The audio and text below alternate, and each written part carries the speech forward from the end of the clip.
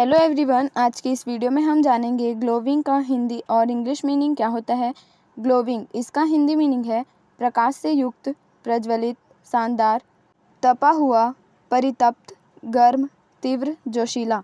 वहीं इसका English meaning है saying that somebody something is very good example से समझते हैं इसे। Example his teacher wrote a glowing report about his work यहाँ ग्लोविंग का हिंदी मीनिंग शानदार है।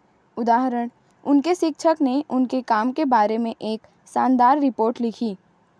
इसी के साथ आज के इस वीडियो में बस इतना ही। अगर आपको ये वीडियो पसंद आई हो तो वीडियो को लाइक करें और हमारे चैनल को सब्सक्राइब करें।